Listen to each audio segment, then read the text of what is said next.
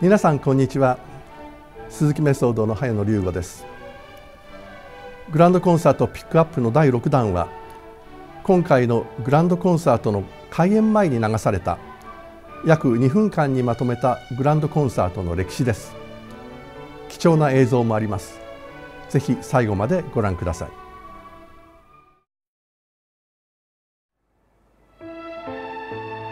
鈴木メソードを作った鈴木真一先生は1956年の原稿に才能教育運動を始めた頃を振り返ってこう書いています。私は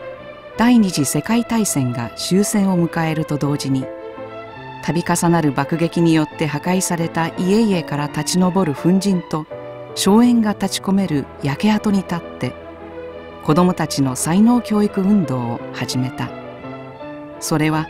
大人たちが勝手に始めた戦争によって何の責任もない多くの子どもたちが最も大きな戦争の被害を受け着るものや食べるものまた住む家ばかりでなくその時期の子どもたちに最も必要な教育というものがおろそかになっていたからである。鈴木真一先生の教育に対する考え方そして情熱は多くの人々の心を動かし感動と共感をもたらしました。全国各地に才能教育の支部が作られ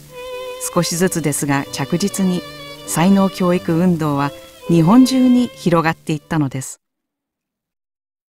そして終戦から10年の時が流れました。1955年3月27日快晴の空の下東京千駄ヶ谷の東京体育館には日本全国からバイオリンを手にした子どもたちが続々と集まってきました。その数約1200名の子どもたちとその保護者の方々。ご来賓には徳川義親名誉会長のお招きによって当時の皇太子殿下高松宮同妃両殿下秩父宮妃殿下また各国の大使館員の方々をお迎えし午後2時記念すべき第1回才能教育全国大会が開演になりました。グランドコンサートの歴史の始まりです。プログラムの幕開けは100名の子どもたちによるモーツァルトのコンチェルト第5番。続いてバッハのコンチェルト異端調ウェーバーのカントリーダンスビバルディのコンチェルト異端調が演奏され休憩後の800人の子どもたちによるバッハのドッペルコンチェルトで会場の興奮は最高潮になりました。誰もが800名の子どもたちがリハーサルもせずにバッハのドッペルコンチェルトをきちんと合わせて演奏するなんて想像もしていなかったことだからです。このフィルムがアメリカで公開されると凄まじいほどの反響で驚きと簡単の波が全米に広がり鈴木インパクトと呼ばれるまでになりました。またこのフィルムを見たジュリアード音楽院の教授たちの尽力もあって1964年からテン・チルドレンツアーの歴史が始まるのです。この第1回全国大会の成功により鈴木メソードは海外に向けても新たな一歩を踏み出すことになったのです。鈴木真一先生はこう語ります。私は私のバイオリン教育法を通して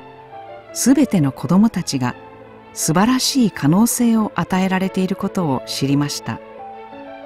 音楽の才能は生まれつきのものではなく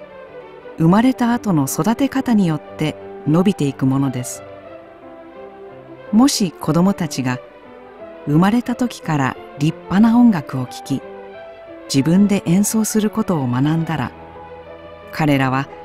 優れた感受性や忍耐力を持つとともに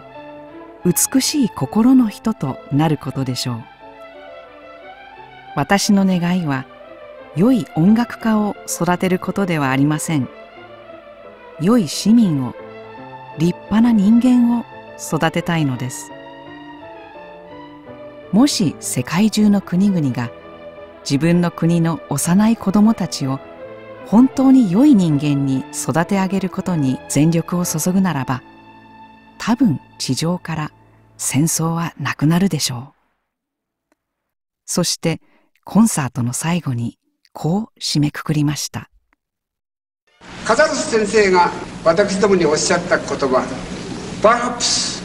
music save the world この言葉は本当でございます。私どもはそれをしなければならないと思います。